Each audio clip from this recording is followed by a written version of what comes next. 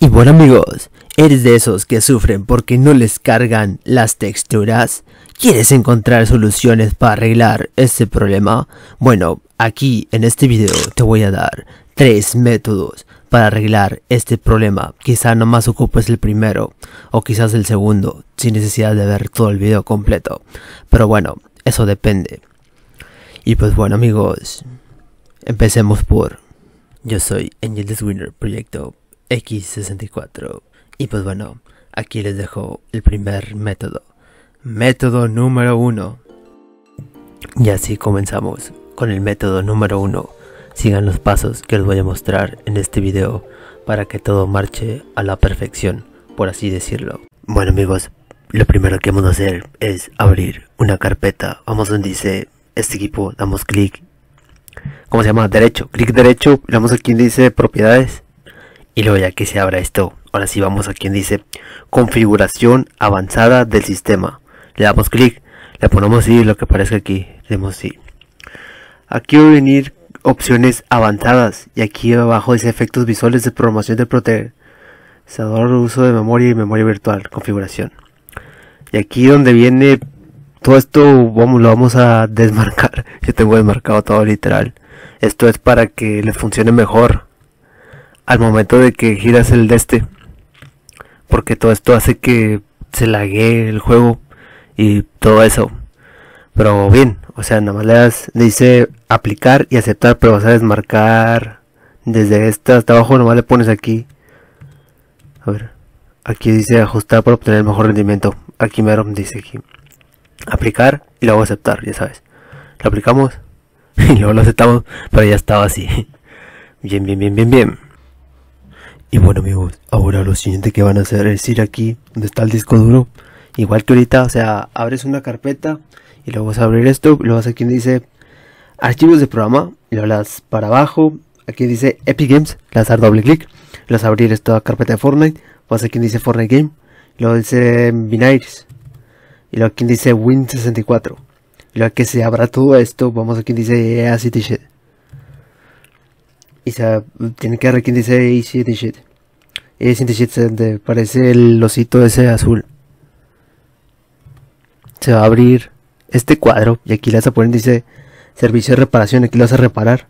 Aquí va a venir el Current Game 217, no importa que te venga ahí, si viene Fortnite o cualquier cosa que te venga aquí, tú nomás pueden reparar. O sea, porque hay gente, yo sé que va a haber gente que me va a preguntar eso. Ya he hecho un video así parecido antes y me preguntaban que les aparecen otras cosas de Fortnite y todo eso, o sea, no les aparece esto de Current Games 217 y a otros sí les aparece y como quiera es lo mismo, nada le pones aquí dice reparación y ya nada más lo reparas y todo eso. Dice finalizar y ya lo único que vas a hacer. Y bueno amigos, ahora lo siguiente que vamos a hacer es ir a la ventana de Windows que está abajo. Vamos a dar clic derecho, le ponemos en ejecutar. Se va a abrir este campo, vamos a poner porcentaje temp, porcentaje, como está escrito aquí, le damos en aceptar. Vamos a eliminar toda la basura que venga aquí. Esto no nos va a servir para nada porque esto nos va a estar alentando el juego al momento en el que estamos jugando. Ok, ya que cerramos eso, oramos aquí donde está esto del reciclaje. Y lo que venga acá dentro del reciclaje lo vamos a borrar todo, literal. Sea, eliminamos todo lo que hay aquí en el reciclaje. Tiene que estar limpio para que la computadora sea más rápida. Para que puedas jugar mucho mejor y todo eso. O sea, nada de basura. Ok, ok. Lo hemos vaciado. Entonces, las carpetas que están aquí en el escritorio, tienes que crear una carpeta. Ponemos aquí nuevo. Clic derecho, nuevo y luego dice carpeta. Se abre una carpeta y todo lo que venga aquí tienes que meterlo a una sola carpeta. Por ejemplo, yo tengo esta carpeta. Aquí en esta carpeta yo meto todas las cosas que tengo. Eso es lo que yo hago, pero esta la voy a eliminar porque no la necesito, nomás era para poner un pequeño ejemplo. Y bueno amigos, lo siguiente que vamos a hacer es abrir una carpeta donde dice este equipo le vamos a poner, se va a abrir esto del disco duro, entonces vamos a darle clic derecho, se abrir en propiedades, ya que se abra esto. ahora sí vamos a donde dice liberar espacio. Necesitamos espacio. Por lo menos necesitamos 130 gigabytes. Limpiar archivo del sistema.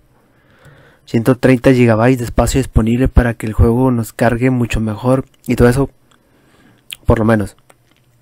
Arriba de 100 está bien, pero 130 está mejor, la verdad. Yo ahorita tengo muchos programas y todo eso, por eso como que no tengo tanta memoria tampoco. Vamos aquí a eliminar otra vez, o sea, tienes que eliminarlo dos veces. Le pones, esperamos a que esto se vaya así como que terminando y todo eso. Y pues bien. Esto puede tardar un tiempo o algo. No, le das donde dice aceptar o le picas a la tachita ya cuando se termine. No, le pones donde dice abajo que dice aquí aplicar y luego le pones aceptar. Pero tienes que darle dos veces aquí donde dice liberar espacio y eliminar los archivos que venían ahí para tener más memoria y todo eso. Ya se saben el método porque esto va a tardar un poco.